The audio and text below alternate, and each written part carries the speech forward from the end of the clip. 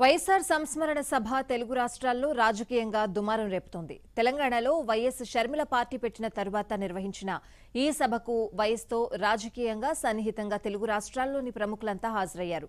Party ఆదేశాలను ధిక్కరించి కోమటిరెడ్డి వెంకటరెడ్డి హాజరు కావడం కాంగ్రెస్ పార్టీలో పెను దుమారం రేపుతోంది.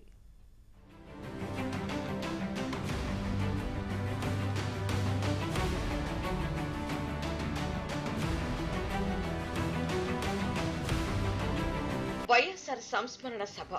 ఇప్పుడు తెలుగు రాష్ట్ర రాజకీయాల్లో పెను మార్పులకు నాంది పలికేలా జరిగింది. హైదరాబాద్ హెచ్ఏసీసీలో జరిగిన వైఎస్ఆర్ సంస్మరణ సభకు రాజకీయ పార్టీలకు చెందిన నాయకులు పెద్ద సంఖ్యలోనే హాజరయ్యారు. వైఎస్ విజయలక్ష్మి ఆహ్వానం మేరకు మాజీ ఐఏఎస్లు మాజీ ఐపీఎస్లు కొందరు సీనియర్ జర్నలిస్టులు పారిశ్రామికవేత్తలు సైతం హైటెక్స్కు వచ్చారు. సంస్మరణ సభకు వచ్చిన ప్రతి ఒక్కరిని వైఎస్ విజయమ్మ షర్మిల మర్యాదపూర్వకంగా పలకరించారు.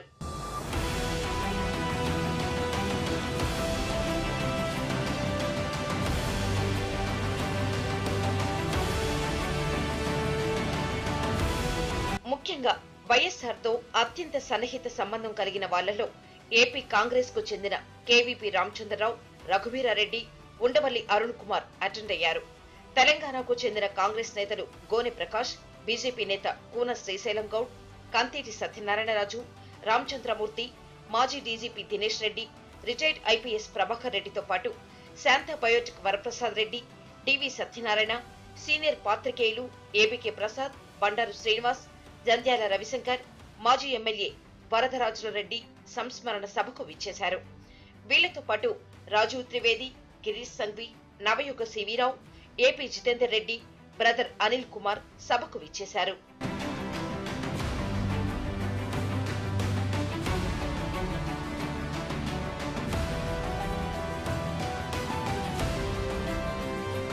కాంగ్రెస్ నేతలు ఎవరూ వెళ్ళొద్దని ఇప్పటికే టీపీసీసీ స్పష్టం చేసినప్పటికీ కొందరు కాంగ్రెస్ నేతలు సభకు హాజరయ్యారు. పార్టీ ఆదేశాలను ధిక్కరించిన కోమటిరెడ్డి వెంకటరెడ్డి వైఎస్సార్ సమ్మేళనానికి వెళ్ళడాన్ని సమర్థించుకున్నారు. ఎంతో మంది కాంగ్రెస్ నేతలు ఇతర పార్టీ నేతల కాళ్ళు పట్టుకుంటున్నారని అలాంటప్పుడు తాను వెళితే తప్పులేదని ఎంపీ కోమటిరెడ్డి వెంకటరెడ్డి తెలిపారు. తాను వైఎస్ఆర్ అభిమానినని మరోసారి స్పష్టం చేశారు. మీరు వచ్చి మీ అన్న గురించి నాలుగు మాటలు చెప్పాలంటే తప్పకుండా వదిన వస్తానని చెప్పి ఆమెకు మాట ఇచ్చాను ఆ మాట మీద వచ్చాను మాట్లాడాను. ఆయన గురించి ఆయన చేసిన మహత్తరమైన కార్యక్రమం ఆరోగ్యశ్రీ ఇలాంటి కార్యక్రమం ముస్లింలకు రిజర్వేషన్ ఫీజు రియంబర్స్మెంట్ ప్రాజెక్టుల గురించి నాలుగు మాటలు చెప్పి ఆత్మకు శాంతి కలగాలని వాళ్ళ కుటుంబం బాగుండాలని దేవుని ప్రార్థిస్తూ చెప్పాను. ఇది పొలిటికల్ ఎజెండా ఉన్నది. చెప్పి నేను ఉన్నదని అనుకుంటలేను. మూడు రోజుల క్రితం ఆహ్వానం వచ్చి మాట ఇచ్చిన తర్వాత మూడు గంటలకు ఫోన్ చేసి మూడు గంటలకు నిర్ణయం తీసుకున్నట్టు ఎవరో ఇప్పుడు చెప్తున్నారు. నాకు నాకు కూడా తెలియదు. నేను ఉదయంకి వెళ్ళి కార్యక్రమాలే ఉంటాను కదా జనరల్గా.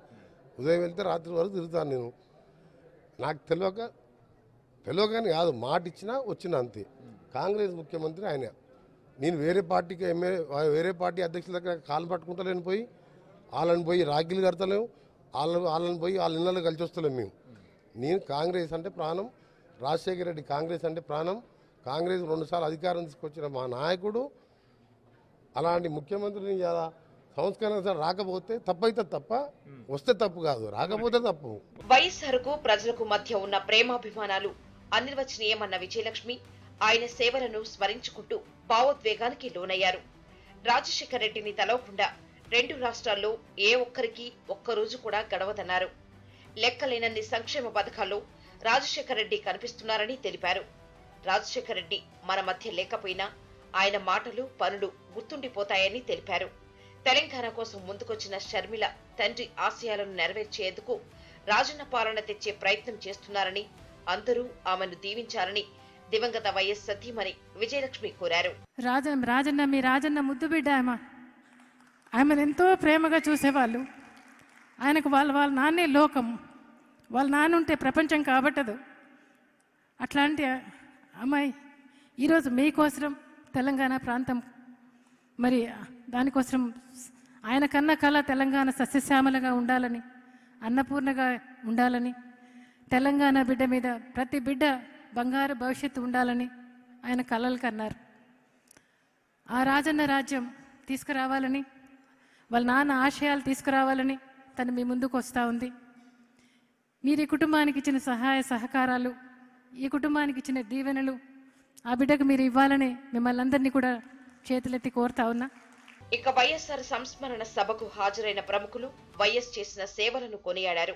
వయస్సును కోల్పోవడం ఆంధ్ర ప్రజలు దేశ ప్రజల కాంగ్రెస్ దురదృష్టమన్న మాజీ ఎంపీపీ కేవీపీ రామచంద్రరావు తెలంగాణలో ప్రతి ఎకరం సస్యశ్యామలం కావటానికి వైఎస్ వేసిన పునాదులే కారణమని తెలిపారు.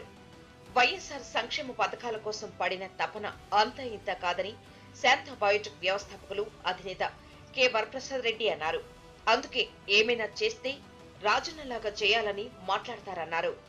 విధి రాతను మటుకు ఎవ్వరం మార్చలేము అని రాజశేఖర రెడ్డి గారిని మనల్ని దూరం చేసిన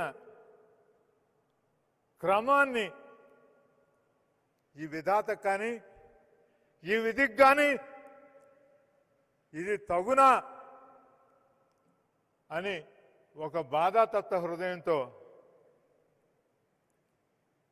ఆయనకి అశ్రు నివాళులు అర్పిస్తూ మీ అందరి దగ్గర సెలవు తీసుకుంటున్నాను. దీనార్థులకు బాధాసప్త ద్రష్టులకు వాళ్ళకు ఒక ఆర్తి ఆసరా భరోసా ఇవన్నీ కలిపి ఒక రాశి పోస్తే ఆయన మన రాజన్న వైఎస్ఆర్ రాజశేఖర రెడ్డి గారు.